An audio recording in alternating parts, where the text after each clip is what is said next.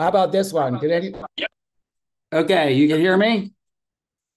Okay, good. Hey, everybody, look, I'm human just like everybody else. I am in a hotel room and I got my camera, my microphone, and uh, I got five thumbs when it comes to audio visual. So, um, thank you for being patient with me as I get this thing uh, sorted out. But I'm really, really excited about what's going to happen today. And I also want to go ahead and, and put this up on Instagram Live. So um, that's also something that I'm five thumbs on. So let me let me go ahead and do that. Take off my conference badge and three, two, one on Instagram. Let's get started. Um, yep. So I'm Instagram Live as well. So hey everybody, I'm super excited about today. Um, thanks for tuning in. And okay, you said you could barely hear me. So what's up with that? So how's the volume? Check one, two, check one, two. Um, is that better? Okay, loud and clear. Awesome.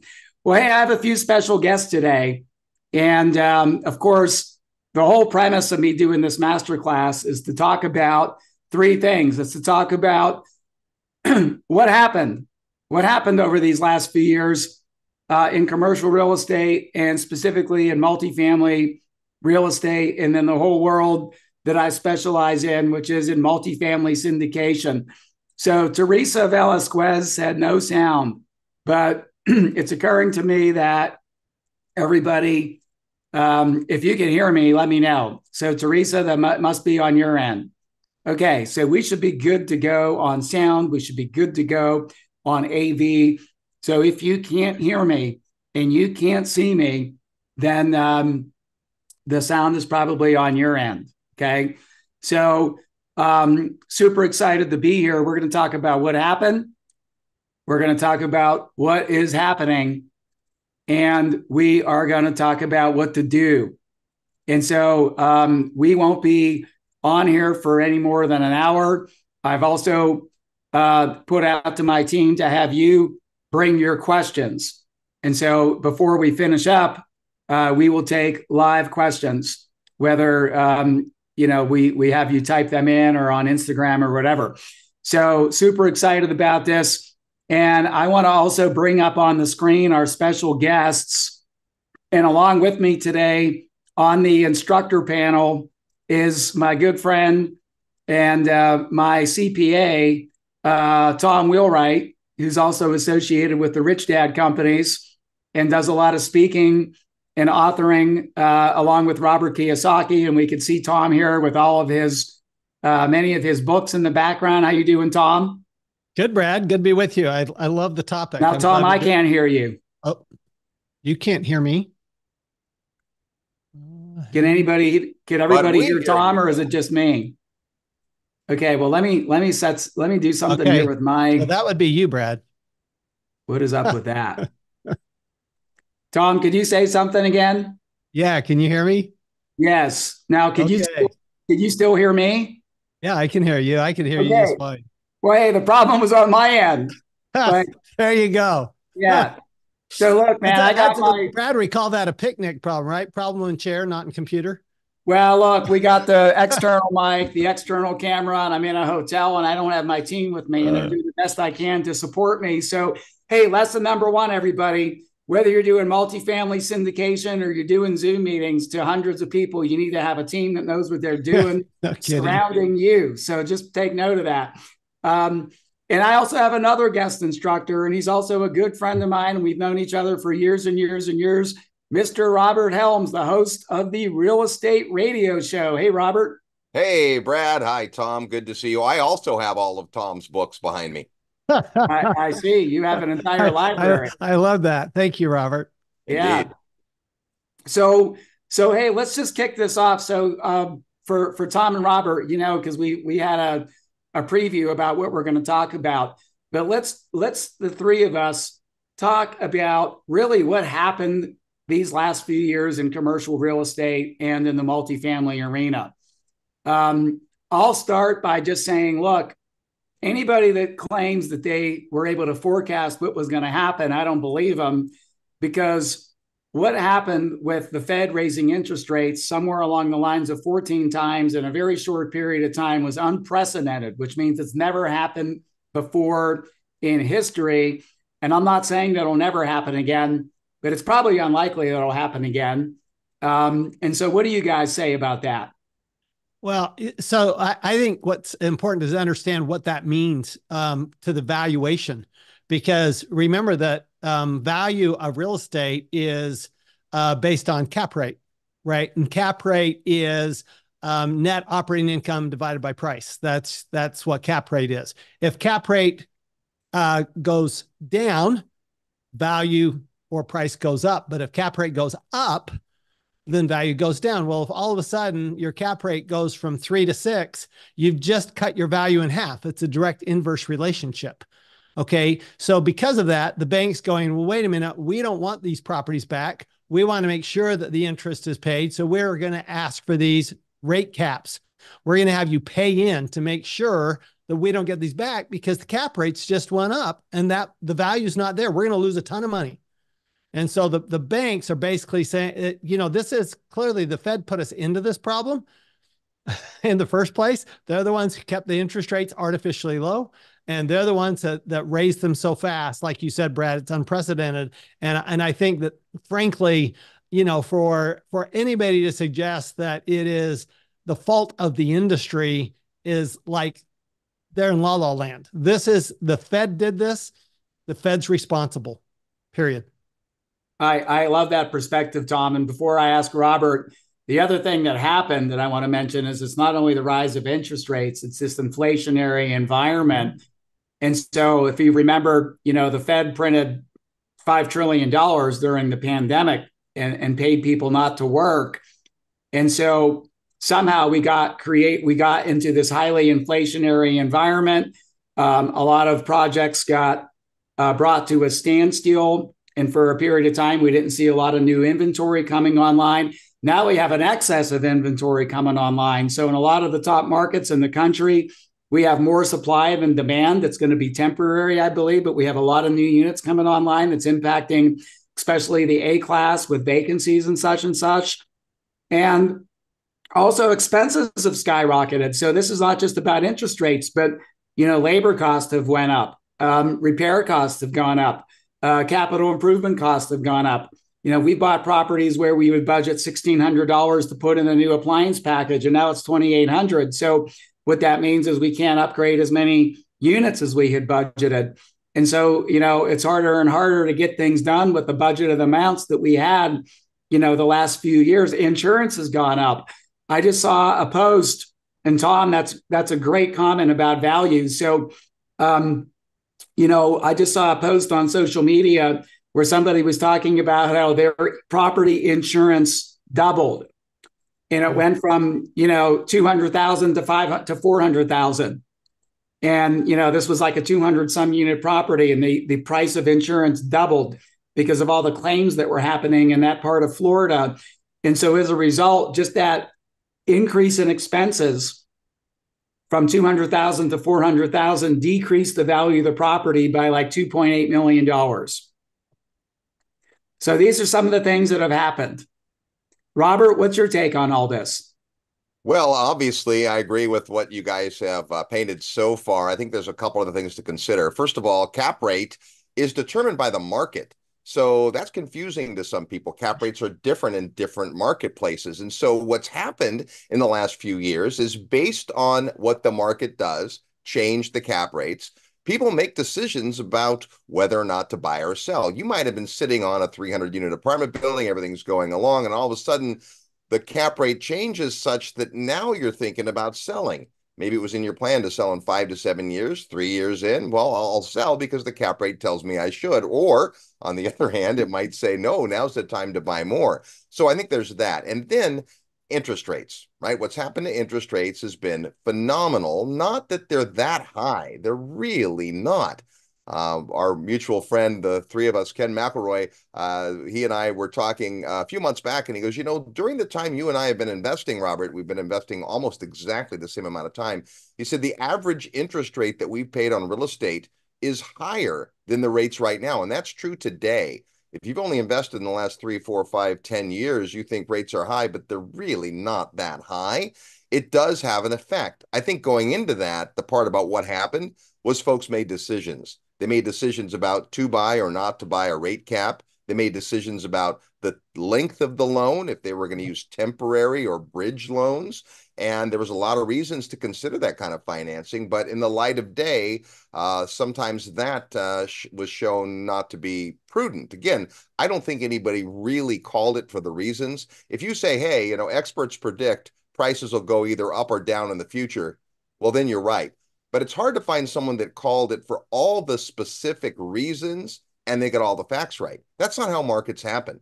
Markets are going to do what they're going to do. We're going to do our best to react. And I think it is important. I know a lot of people are on because they want to know is it is it time to put your foot on the gas or is it time to put on your we'll get to that.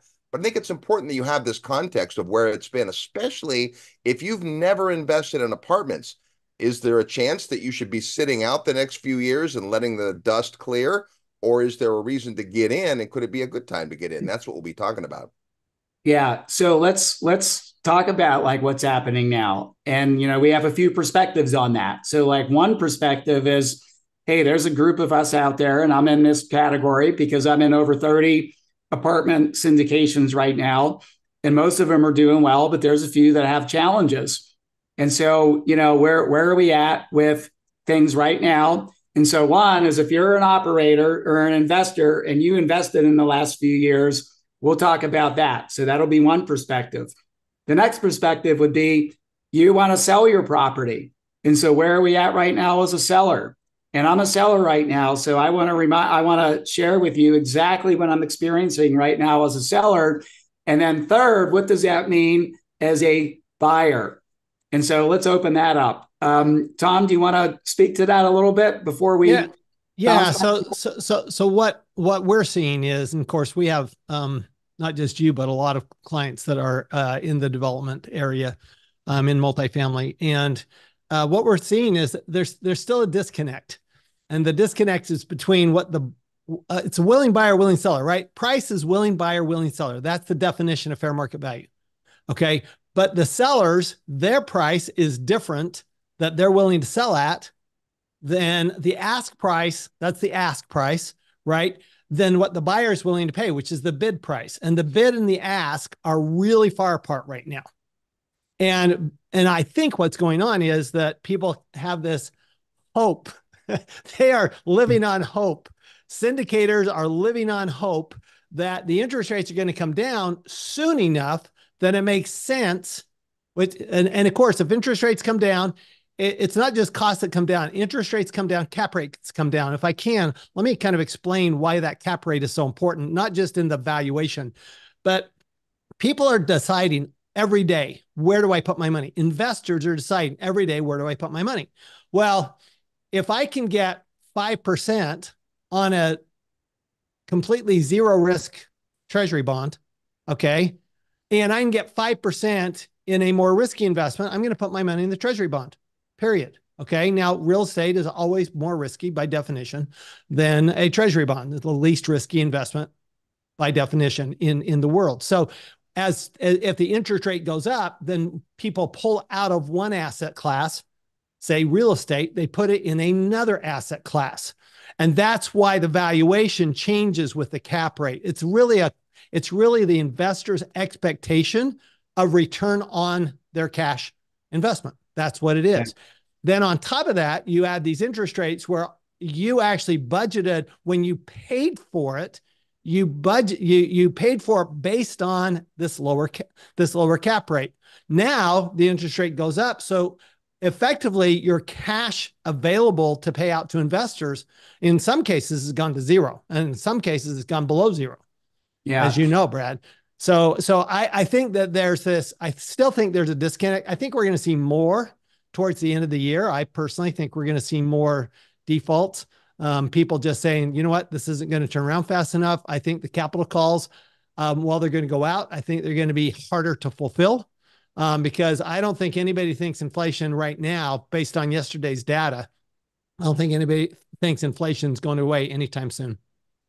Yeah, so it doesn't occur to me that rates are going to be cut as soon or as fast as we had hoped, right?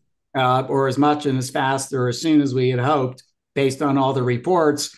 And I saw somebody post in here and uh, in the chat box that hope is not a strategy. So I agree with that. So what is a strategy? Well, look, if you're in deals right now, we got to be doing some reforecasting, some re-underwriting. You know, we got to be diligent on operations. We got to be looking at cost. Like there's a lot of deals out there. Like here's an example. I bought a deal in 2021. Many of the students in my program are familiar with this deal. Uh, we saw it on a Sumrok, you know, student bus tour and bought it in 2021. We have a three-year variable rate loan. We, do- we bought a rate cap um, and the deal is producing cash flow like a lot of cash flow. But what we've done is we've decided not to make distributions because we know that at some point in the future, and that point in the future could be July of 2024, where we would need to buy another rate cap. And that rate cap is dramatically more expensive now than it was three years ago when we bought the deal. So this rate cap cost us five, six, seven hundred thousand dollars and so what we've done is we've accumulated that cash in the event that we want to do the rate cap. So that's one thing that we're doing. You know, the other thing is we've been looking at different strategies. So of course we went out and got BOVs, broker opinions of value. We want to see what it is that we could sell the property for. We've also engaged with lenders and we're looking at refinancing options. And so we're looking at agency refinancing, CMBS refinancing. We're even looking at bridge refinancing. And some people might say, oh my God, like a bridge loan, that's the worst thing you could do. I respectfully don't uh, necessarily agree with that. There is a time and a place for a bridge loan. In fact, one of my operators that I partnered with, I'm not going to mention his name, but he's got a lot more experience than I don't know everybody on the call here, but he's got a lot more doors and a lot more experience than probably anyone on this call. And we just did um, what's called a bridge to bridge refinance. So we had a three year bridge and we paid that off and we got another three year bridge because the belief there is that by 2027, we're going to be in a completely different, you know, time where things are going to be booming again. Yeah. So, I, I, I, agree, Brad. I, I think the question is how far down the road do you need to kick the can? Right. Yeah. Well, from what I'm hearing, from what I'm hearing from the experts is you know, there's a saying in the industry, Tom, survive until 25. And everything that I hear is saying like 26 is going to be like some amazing times again. So some of the most experienced in the industry professionals that are debt uh, advisors are telling us like, you know, get that. So in this deal, it was a 620 unit A class deal that we bought at the end of 2020, and we just did a cash neutral refinance, meaning our original loan was 86 million. We actually have a new loan of 95 million. Uh, and so there's a 7 million surplus, but we went ahead with part of that 7 million and actually had to buy that rate cap for the next several years. But we're good to go through mid 2026 on that transaction. Now, now the other one that I'm looking at that I mentioned that I bought in 2021, our income is through the roof. Okay, meaning that right our rental income, we're, we're in year three and we've already surpassed our year five rental income. So, like, we've done our job of doing the value add upgrades, of raising the rents. Um, our controllable expenses are in line with our budget. Okay. But it's the interest rate, even though we have a cap, and it's also the thing, the uncontrollable expenses like insurance and such and such, and supplies and and and, and contract labor and all that. All those things have gone up. And so we're in a great position on this deal. We can sell the deal and get all the investor money back and still make a profit, but it won't be the amount of profit that we had projected to make. Or we're actually looking at a refinance that would involve a cash out. Now, it won't be a big cash out, but it'll be a cash out. So, to me, if you could do a cash out refinance right now, or even a cash neutral refinance, because I'm also hearing about groups that need to do a cash in refinance, meaning you would need to put money in the deal um, to pay off the existing loan and to get new debt. And so, if you're in a position where you could do a cash out or cash neutral refinance, I think you're in a pretty good position. Robert, Tom, any comments on that? Yeah, I think, you know, you're talking about the folks that are in right now and what they can do. And, you know, there's this feeling that the market's distressed. And I think we can all agree, you know, this as Tom mentioned, that we're going to see some of that. But the entire market isn't distressed. In fact, it's the minority of the actual properties that are truly in distress. There are some. And if you're in one of those, that's a problem. There are absolutely deals that were done in the last three, four, five years that are underwater now. The price per door is down 20 or 30 percent. Well, what was the initial equity? 20 or 30%. There are deals, yep. make no mistake, where 100% of the equity is gone. Now, might not stay that way if you can survive through 25 or 26. But for those deals, that looks like everything is over and it's bleak and it might be. But again, that's not the market. There are plenty of deals where folks were prudent about underwriting and bought the rate caps and maybe expenses are up but guess what else happens in an inflationary environment? Rents go up and values go up. So it's it's so local. All real estate is local. You can't really say the real estate market and you can't say the apartment market because it varies so much. So i think the big uh, lesson is to make sure that you are staying plugged in because if you just set it and forget it the market can run away from you. Well, well, and and you know, I I kind of think back to 2008, 9, 10, right? And people, clients would call and they'd say, "Well, I don't want to sell this property because I'm going to lose money." And and my my question back is always, would you buy the property at the price you're selling it? Because if you'd buy it at the price you're selling it, you should keep it. Right. Right. If you if you don't, if you wouldn't buy the property, at the price you're you you'd sell it at net of expenses, then you should sell it. And let's let's get rid of that bad asset on your balance sheet. Yeah. Okay. But but you really have to to evaluate, as you're saying, Brad, you really have to evaluate the deal. And every aspect of the deal is that it we, we can't like was said in the chat, hope is not a strategy. At the same time, you can look at it and say, is this an underperforming asset or is this a non-performing asset? If it's an underperforming asset, perhaps there are things we can do to increase the performance. You yeah. know, I mean, it's like, do we do we actually go put money in to raise the rents so that we can, you know, get more more rent per per unit. Maybe that's an answer. You know, maybe there's some some some rehab we need to do, some value add that we need to do because those and and then the other thing that I of course I can't forget to add is that don't forget that if you do give up the property, you will have a tax consequence. And it could be a major tax consequence because most of these properties got 100% bonus depreciation when you bought them. And when, when the, if you give it back or you sell it, remember that unless you do a some type of a 1031 exchange or a drop and swap, then you're going to end up, or you're in a DST, something like that, then you're going to end up with a, a major capital gain. So, so don't forget that there's a tax cost to this. It's not just the selling cost. There's a tax cost. Yeah, and I love that, Tom, because one of the questions I get from a lot of people, whether they're students in my mentoring program, my mastermind, or just people that I meet at like a conference where I'm at now, and I'll talk about that. I know some people have asked where I'm at. Um, is hey, I'm in a deal with a capital call, and should I contribute? So, like, one of my thoughts on that is like, look, number one is everybody that got into a deal very well should understand the risks. Like I know we like to talk about the potential and the ways we make money, you know, cash flow appreciation, tax savings, all that type of stuff. But I also think we need to be aware of the downsides and the risks. And I know like in my program, like I I teach that and I make sure that people understand that. Does that mean people always listen? No, but it's very clear. Like, look, I've started this business in 2020 in 2002, and I've been through the 2008 crisis, and I know what it's like to have challenges. And so, you know, I think just being aware of what these challenges could be, and and knowing that any given deal could potentially, even if you do everything right, you know, could still have challenges due to climate and geopolitical events and election years and all that type of stuff and pandemics and the feds and all that type of stuff. So part of it is that and there's also the part that we can control as owner operators.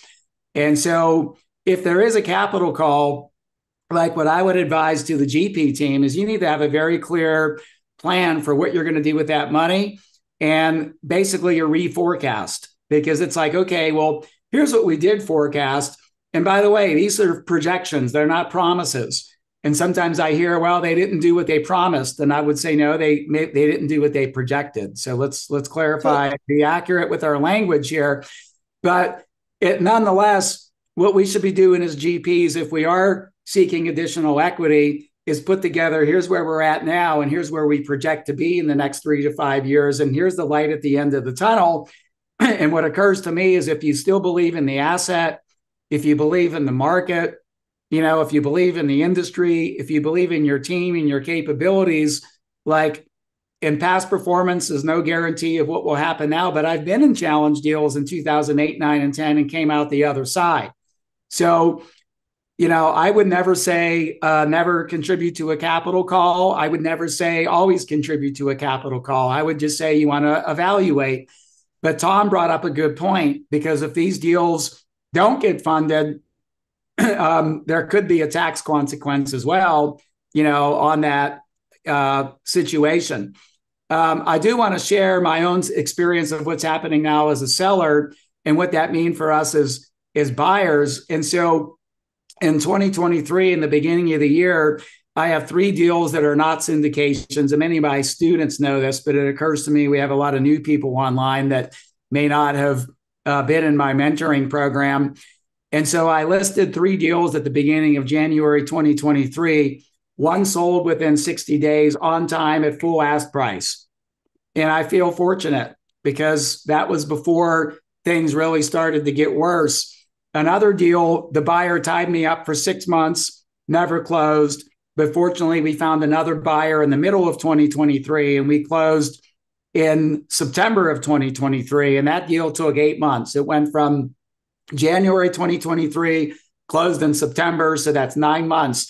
And let me tell you about that transaction because now it's closed. We had listed that property at 17 million. Um, that was the whisper price. A whisper price is a price that the broker and me as the seller agree upon, and we provide pricing guidance to the buyer community. Um, and the first buyer had it under contract at 17 million. they didn't close. It took them five months to walk away from the deal because they could not get their debt together or their equity together. The next buyer closed the deal at 15.4 million. So during that nine month period, my property value went down from 17 million to 15.4 and I still made money. Don't so, feel sorry for me because we bought it, you know, in 2018 at a really good price. But that was the opportunity that buyer group had. Now, the last part of the story is um, the third deal. And I listed this third deal at the same time, January of 2023. And we got a buyer that tied me up for eight months. They couldn't close, they couldn't get their equity together. And after eight long months, frustrating long months for me, they walked away from the deal.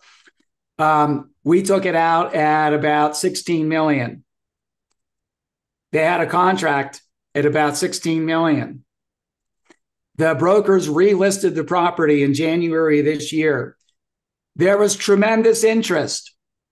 They created an amazing market. We had 770 confidentiality agreements signed, meaning they requested the financials from the broker 770, 35 purchasing groups toured the property. And we had 13 offers. And four groups or five groups made it to the best and final. And so what this tells me is the brokers did their job. They created the market. They created a lot of interest. Wouldn't you agree robert and tom? Like they did yep. their job. Yep and I'm yep, not going to sure. tell and I'm not going to tell you the exact price because it's still in play. Like we're we've we picked the buyer, we've agreed on a price, we're signing the contract.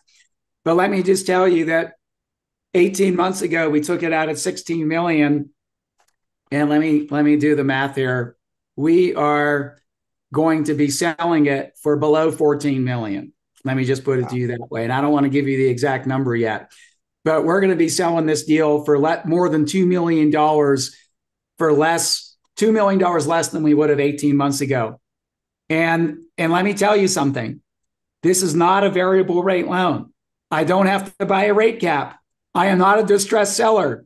Tom knows my tax returns. Tom, do I have money in the bank? Uh, you're willing me to t- say that? Yes. Yeah. I mean, do I have money in the bank? I'm yeah, not a distressed seller. So why am I selling? Same thing that Tom said. If I had to buy the property today, knowing that the property needs 800,000 to a million dollars in improvements, I'm the major investor in the deal, the majority owner if I keep the property, I'm going to have to put in that 800,000 to a million dollars and then I'm going to have to oversee the capex. And that's not something I want to do right now with my money and my time. I believe there's better opportunities for me to get my money out even though I'm selling at more than a 20% discount and I'm going to get my money out and redeploy it into something else and get a better return. So that's why I'm selling. And uh, that's where I see the opportunity. Tom or Robert, any any comments on that? I think it's a great uh, real world right now case study of yeah. what has been happening, and we're we're seeing price per door go down a lot. So I guess one of the fundamental questions, if we're ready to shift to that, is if apartment buildings are on sale, they cost less per door now uh, than they did uh, even a year ago then is this a time to buy and is that enough reason well, to buy? I think that might be an interesting thing so, to discuss. so, so so so let's look at when you know when, when you want to buy because what's important is that your cap rate's higher than your interest rate. Right. if your cap rate's not higher than your interest rate it's not you, you only make money if you pay cash right? So if you're trying to syndicate a deal you're trying to borrow money you're using other people's money you're using the bank's money. Um, if if your cap rate is at five and your interest rate's at six, that's a bad deal. That dog doesn't. That is that's called um, in Australia they call that negative gearing, and it's a bad idea. It's a bad idea in Australia, and it's a bad idea every, everywhere else in the world. So, so that's really to me that's what you're looking at. If your rents are strong, I mean, Brad, one of the things that I heard you talking about is are the fundamentals good, and that's where you got to really look at that deal. I have a question for you, Brad, though, if I can. I want to ask you this question. So I've seen some syndicators where they've done a capital call and they've said, look, the value for the original investors is gone and only the and the return is 100% going to go to the people that put in the capital call money and the original investors are going to get nothing. What do you think of that? I i i'm i'm i'm challenged by that one i i kind of get where they're going from a math standpoint Wait, say that say that again. I didn't follow that. okay so let's say let's say that there was um 10 million dollars of equity and let's say that because of the interest rate cap rates the equity now there's no equity R- robert uh, robert's example so they but they have a capital call and the reason they have the capital call is because they think they can get the equity back in another two years. Say let's say you do a capital year capital call enough to cover two years. Like you said get to 2026 all right what they're doing is is they're saying only those investors who fund the capital call get any money back. Those who, investors who were the original investors they're done. Yeah, I guess I haven't come across that situation, but it doesn't. Um, maybe I don't understand it, but to me, I would look at the company agreement and say, like, hey, like, like, because to me, it almost seems like it, it it it occurs to me that that's almost like saying, hey, the original equity is gone, and we're essentially selling it to these new investors. I'm not sure if that's what they're doing. that's, that's exactly what's going on it, it doesn't occur to me that like you know i'm i'm familiar with um you know i'm in 37 syndications right now and i've had a couple capital calls and i can tell you that's not what we're doing i know you're not for those for those I know what you're I- doing, Brad. I Yeah, just I wanted I wanted and I'd like to hear from you too, Robert, what your thoughts are on that because I'm I'm I'm severely challenged by it. Yeah, I, I agree with you. I have seen this, and I think the reaction is that if you say, okay, based on today's value, there is no equity. So the equity holders, they're they're out of luck, and either the bank is going to take this over and then we're all out, or perhaps we're going to have, you know, a, a recapitalization. Well, how to recapitalize if the value isn't there? But follow me on this. Would it be conceivable that even though the equity is quote unquote not there, would it be conceivable that the property could still perform maybe at a neutral basis, maybe a little bit of a feed, maybe a little bit positive, still perform as time goes on, rents come up, as time goes on, the economy's different, and you could hang on and then all of a sudden the equity's back. See, the equity isn't actually gone until you sell. Exactly. That's my point. If Yeah. you, if you sold, that could be one option. Hey guys, we're out. We're going to sell to another group. Do anyone of any of you want to be part of the other group? I don't like the way that feels as a syndicator, but I can see the level of thinking there. To me, I would w- rather figure out a way to reward current members who can make a cash call in a proportionate way. So Right. if 60% of the members can make a cash call, okay, we're going to do something for that group. Everyone's eligible, treat them all equally. But Yeah. the ones that can come up, we'll do this for. And the ones that can't, well, you're going to have to ride along with us. Yeah. Well, hey, I want to, you guys noticed I put up a slide here. I'm curious where y'all think we're at in the market cycle if we compared the market cycle to a clock. Um, you know, to me, it occurs to me that we're definitely past the five o'clock period. Now, I don't know if we've hit six.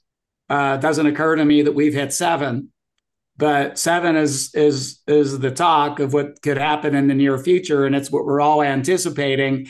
And then, of course, we just saw Blackstone went in and, and deployed $10 billion into uh, multifamily, which to me occurs that they believe we're somewhere in that bottom of the cycle. So, uh, Tom and Robert, where do you think we're at here? Soon as you put that up, I my my eye went right to 5:30. So I think we're we're we're closing That's what I six think. o'clock. I think Yeah, we're at so- 530. Yeah, it's, so this- it's always five o'clock somewhere. Right. Well, this this is where I this is why I think like I want to transition here because I want to honor our time commitments to finish by the top of the hour. This this is my opinion, and you know, Tom and Robert, I didn't ask you this yet, so you guys could you know share your own opinions. But to me, the reason I'm bullish on buying, and I'm going to talk about why, is that you know back at that peak here, where you know would say was somewhere in mid 2022 you know what i've heard was like hey hey it's different this time and this is going to keep going and we're going to have free money forever and cap rates are never going to go up. And that was the time in hindsight to be really cautious But now what's happening is we're down sort of toward that bottom of the cycle where it says, like, hey, it's best to be, I hate the word greed, but it's best to be putting our foot on the gas right now and looking for opportunities. Um, there's a lot of deals for sale in different states of distress. So I want, I'm one of them. I don't need to sell, but I want to sell because I don't want to deal with the capex that I need to deal with. There are people that their deals are performing well on the income side, but they don't want to buy the rate caps. Maybe they don't want to do a $2 million cash in refinance. Um, maybe they're in a three year bridge loan and it's coming due and they have the option to extend, but they don't meet all of the hurdles that the lender has put in front of them to get that extension. And so maybe they need to put a couple million in. So they're considering, you know, getting out of the asset. And I'm seeing that a lot right now. So when when you know, when a lot of us here distressed, we're thinking we could go in and buy it for 70 cents, 80, 60 cents on the dollar. And those types of opportunities may be out there. But what I'm seeing is more like, hey, let's get a deal, let's get a solid deal at a great basis where there's some value add component. And Tom, one of the things that I would take exception to what you said is, you know, if I could buy a deal at a six cap and I could still get a 6% loan, but there's a big value add component in there. Like sure. every every deal I do is I'm going to put together yeah. a five year uh, projection, and if I could demonstrate in that projection that I could go in with proven strategies, I'm not talking about speculation, but I'm talking about mm-hmm. proven efficiencies with you know water conservation, payroll, you know finding direct rental comps that have rents two or three hundred dollars a month higher with certain unit upgrades and I could go in and do those upgrades, that's where I would say, hey, look, you know, it's okay to do a deal in situations where your five year projection is very solid and conservative, but still shows a lot of upside.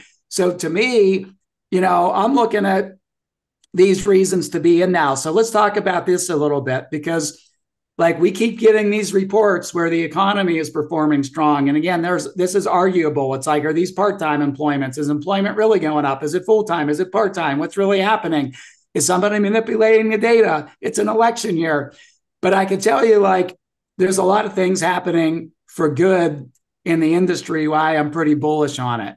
And you know tom we also know that apartments offers some of the best tax advantages available yeah, no, no, no, for sure. And and if you go, if you went back to that previous uh, graph, I, I, I, the one before that, yeah, that one. I have the feeling that we're kind of in between denial and fear right now. We're we're we're not we're not into the panic or the despondency yet. But a question I have for you, Brad, is um, I think something that a lot of people are very anxious about is what's going on in the world. You have war in the Middle East. You have war in in Europe um, and Eastern Europe, and then you've got this possibility of war in China. Um, so how will that affect? I mean, because I think this goes to your, you know, your nine nine things. If you look at these nine, how are they affected by a major uh, world conflict? Well, there are things that could derail this, like you know, like the pandemic would never have been in anybody's vocabulary um, until we had a pandemic, right? And so, yeah, like if if the if the war in the Middle East breaks out into you know a wider conflict, or Russia Ukraine breaks out into a wider conflict, or we have a contested election that's decided by you know not by the electorate but by you know Congress or whatever, there could be um, things happening you know that that could that could impact things. Um, I re- I remember in 2016 when Trump won the election, I was in escrow to buy a $30 million 300 unit deal. And we had penciled the deal out at like a 4.2% interest rate. And Trump won. And it occurs to me that he wasn't supposed to win, meaning like nobody, the markets and the, the capital markets and Wall Street didn't expect him to win. And he did. And we ended up closing that deal at a 5% rate instead of 4.2. I mean, rates went crazy for about a two month period. So there are there are things you know that can happen. But that being said, like to me, um, and I want to I want to move forward and and try to you know reach some conclusions here. But to me, the best time to start anything is like, look, I've been doing this 22 years. If somebody told me they wanted to lose weight, Tom, I wouldn't say, well, hey, wait until you know the world calms down i would say like let's let's start your exercise program now. Even when you're traveling and even when times are hard and even if you have a lot going on it's better to start now. And that's why like i've been questioned about this. You know I, i've been questioned about like brad was it really great to start two years ago? Well hindsight is always 2020 but what i can tell you is there's a huge affordability gap between the cost of buying a single family home, especially for a well, working family. And, and, that's my point, Brad, is I actually think if you look at these nine, right, fundamentals are strong. Are they going to be strong for a while? Yes, we still have a housing shortage. Uh, there, there's still a shortage. Um, homes are still, homes have a bigger price gap than multifamily has in my mind. Uh, you, you, you have people pulling out um, because they're dropping out right? So so you have less competition. I'm thinking that these these not the tax benefits aren't going to get better. I mean, frankly, that right now we've got 60% bonus depreciation goes to 40% next year, right? So uh, that's a that's a much better. And then inflation je- definitely favors apartments. And so I'm just saying that that even with a, a, a conflict, people still need a place to live right? Exactly. They, they still need to eat. They, st- you know, so there. You, when you look at a conflict, because because uh, you know, you know, I meet, I, I spend time with Ki- Robert Kiyosaki all the time, and you know, when we're talking about what's going on, well, where do you put your money? And go, it always comes down to hard assets. You know, uh, real estate, energy, agriculture. I mean, those are the hard assets, right? Well, agriculture is tough, and energy. The challenge is you're so dependent on price the the price fluctuates so great that let's say that for example let's say the democrats were to sweep uh, the the republicans were to sweep not the democrats but the republicans were to sweep in november you would see oil prices drop precipitously very quickly. Okay just like they went up precipitously uh, they went up so fast when when biden w- was elected. I mean it was like day one they went up and so I think that with real estate, the, the nice thing is that if you look at the fundamentals, which I, you are always teaching, Brad, and that's what I love about your classes, is you're always teaching the fundamentals. This is what you're looking at. Make sure that you have strong cash flow regardless of the interest rate. Make sure you have strong cash flow regardless of, of the of of the uh, the the cost of insurance. You know, look at those fundamentals, and then what the the price does doesn't matter so much. Yeah, and Tom, I I went ahead and took the liberty to to hit my clicker here because you know we we do want to finish up in 10 minutes and I want to address like what to do. And Tom, that was a perfect segue because I tell you what I'm doing right now and I'm doing this with my mentees and I'm doing this myself as I'm refocusing on the fundamentals of the business, okay? And it's more important now than ever that we really understand that we're doing and what I do and what I teach is there's a proven framework for success. There's a more efficient, better way to approach this business, and there's a less efficient, less effective way to approach this business. And so, number one is you want to understand the deal. You really want to recommit and remaster. And if you're new, you want to commit to learn and master the fundamentals, meaning what does it mean to understand the deal? What does it mean to understand NOI, cap rate, the business model, controllable expenses, uncontrollable expenses, different ways to raise income, you know, ways to ways to manage the asset, KPIs and stuff like that. You want to understand that. You want to have a consistent source of deal flow from owners and brokers and investor communities. Like now more than ever, we need to be looking at deals, and there's a lot of deals out there. And when you when you find them, you need to learn how to analyze them. You need to do the market analysis. You need to do the financial analysis then there's the whole funding piece. We have a debt component, we have an equity component. So you want to optimize the type of debt you get, whether it's agency, uh, fixed rate, variable rate, you know, recourse, non-recourse. You want to understand that and select the right option that fits your business plan. And then there's the whole equity side, as far as like where do you get the money to go out and find these deals? And then finally, we got to get the deal to the finish line and understand all the steps that one would need to successfully close the deal and then also understand that that's when the work actually starts by effectively managing the deal and then managing the asset. So this is what I'm focusing on. This is what I think people should be focusing on. And then the other part would be how do I invest? and the three ways I've invested, and I, I this back to Tom because he knows this because he does my tax returns, is you could do your own deals with your own money. You could be part of a syndication group where you could be a passive investor or you could be on the general partnership team. Tom, Robert, any comments about that? So I'm a big fan of investing all three of these ways. And I think that there's some, you know, when we talk about timing, uh, first of all, the most important part about timing is where you are and when you're ready. And the greatest news in bullet points is the competition. The world thinks it's a terrible time to buy. The world thinks interest rates are too high. The world thinks there's no deals. People are buying into all that fear. Awesome.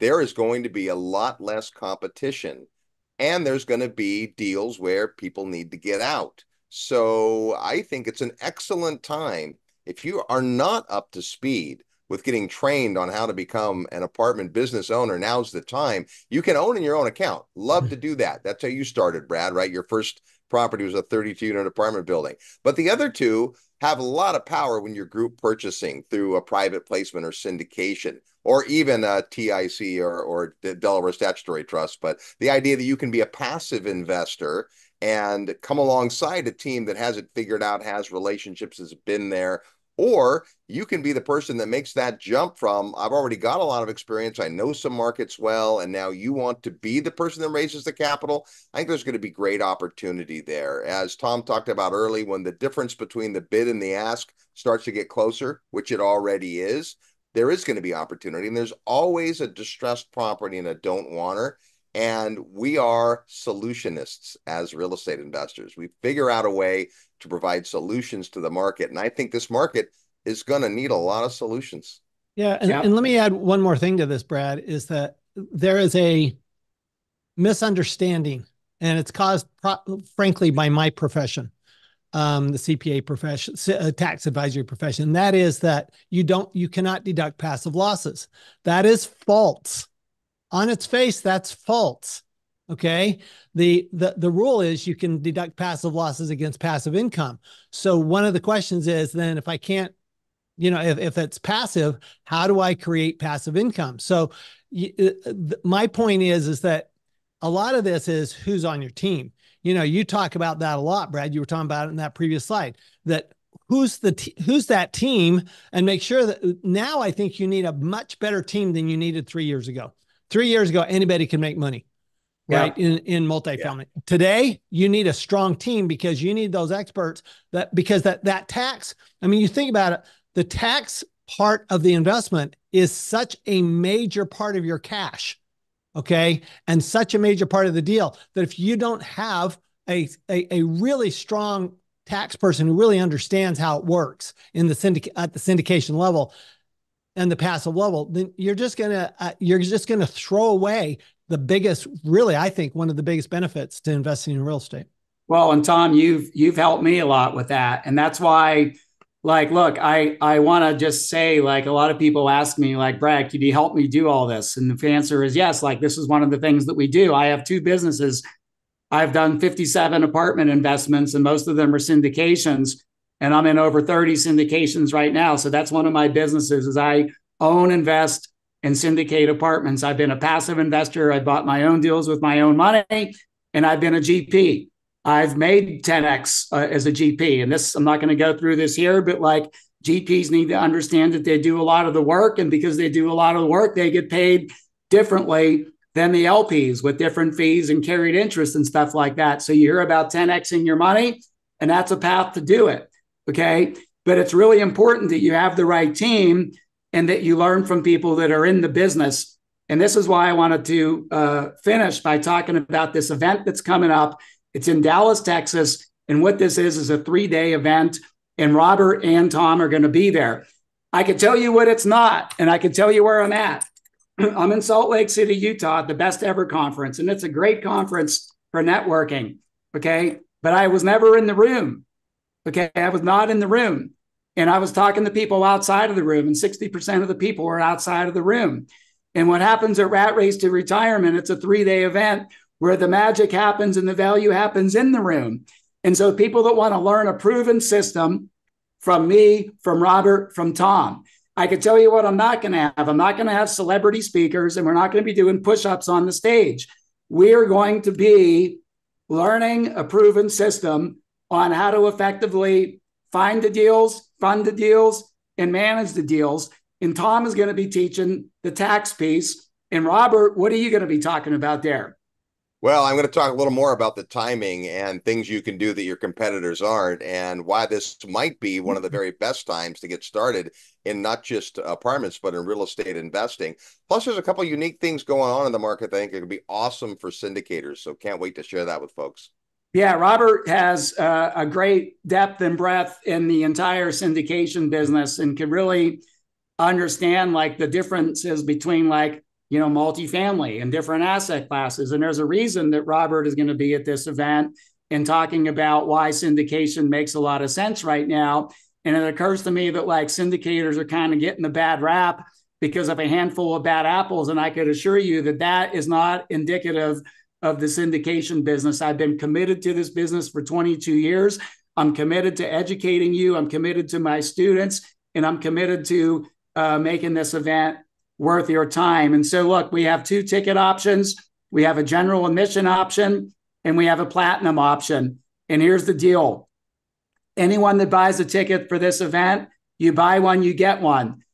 Okay. Share the love. Okay. Sharing is caring. And what occurs to me, if you could do this with a friend, a business partner, a family member, a coworker, a neighbor, somebody from church, you're going to be more fulfilled and more effective in doing with doing this with somebody. That's number one. Number two is I stand behind my promise to you to teach you the framework and to teach you the three ways to invest. If you attend this event and by the end of day two, for any reason you say, Brad, this wasn't worth it, I'm not just going to refund your money. I'm going to give you 2x your money back. 2x your money back.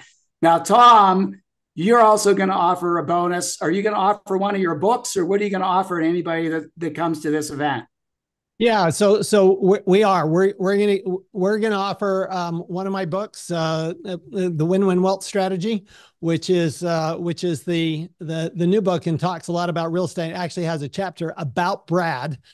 Brad Seven is the only person the that has an actual make. chapter in in my book in one of my books and uh, it's it's about uh, Brad and how he got the government to pay for his Ferrari. So we will talk about how to get the government to buy your to pay for your Ferrari.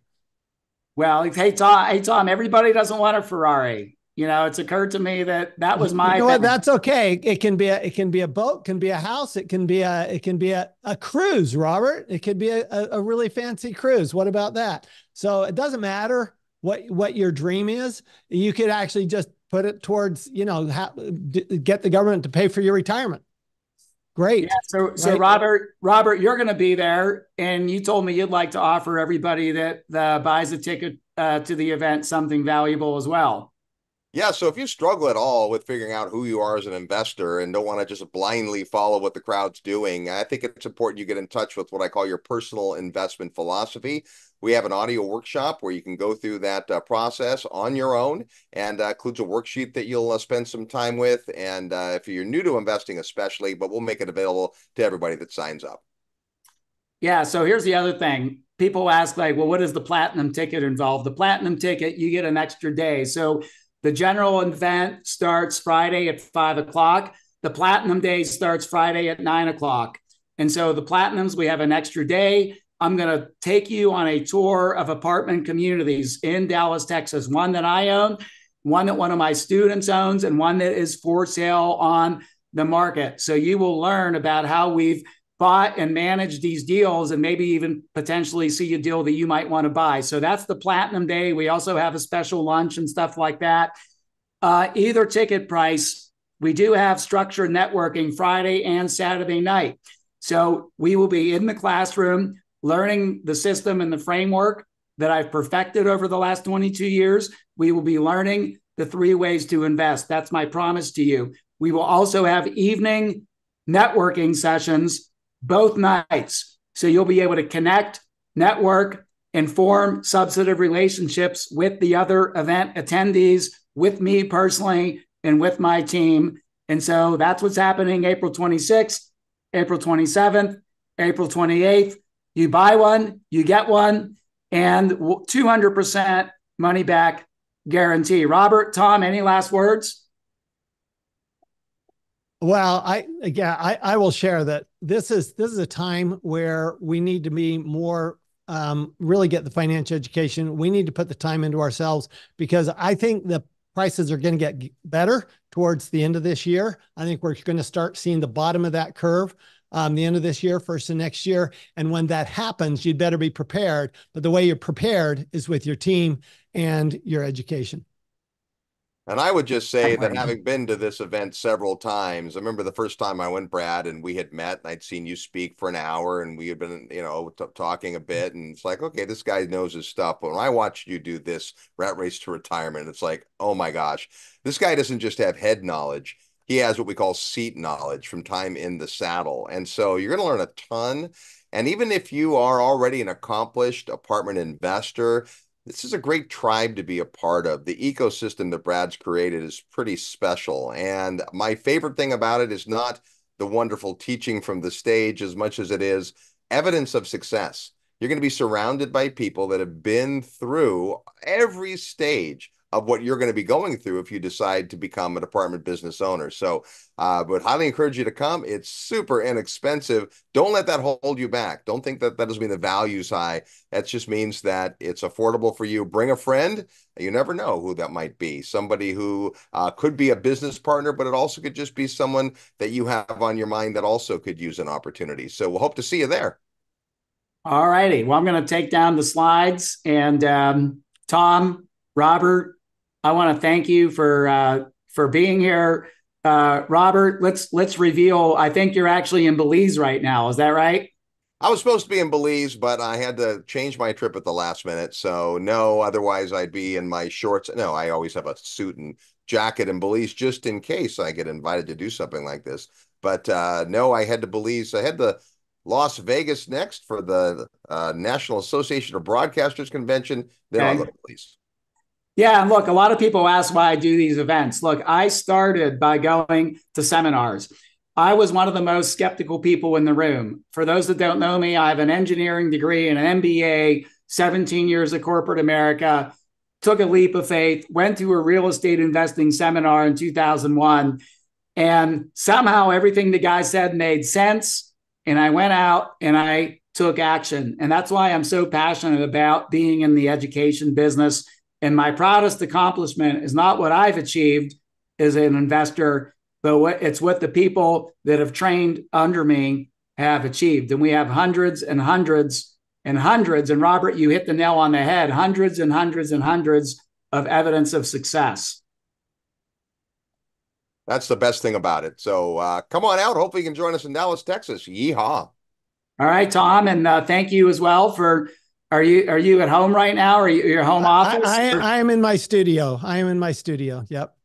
All right. Well, uh, come join me, Tom, Robert, Dallas, Texas, and many other people that are all look. We're all on a journey. Okay. You're here, and if you're still here listening, a lot of people dropped off by now. If you're still here listening, I mean, look, we're all on a journey. Okay. I've been doing this 22 years. You're never going to find anybody more committed to the syndication business, the apartment investing business, and more committed to my events in the industry than I am. And I hate to say it that way, but that's one of the things that makes me different is I am committed and I'll be doing this two years from now, five years from now, and 10 years from now. Now, after 10 years, I don't know because I'll be in my mid 60s at that point, and I'm not sure what I'll be doing 10 years so, from now. So I, you'll, you'll, you'll be old like me, Brad. Yeah, but look, Tom, you're still going. Hey, man, you're still going strong. Absolutely. I re- retire means take out of service, and no no interest in that. Yeah. Thank you. Thanks right. everybody for being here. Well, hey, thanks everybody. Um, hope to see you in Dallas, and um, I promise you it'll be worth your investment of not just the money, but of your time. I, I take really seriously your commitment to show up and be present and learn and be committed to investing in your future for three days. So uh, that's my promise to you: is you're going to learn and you're going to walk away with information that you could go out and implement this year in 2024. All right, guys. I'll see you all later. Thanks, everybody. Thanks, Tom. Thanks, Robert. Bye for now. Thanks, everyone. Bye.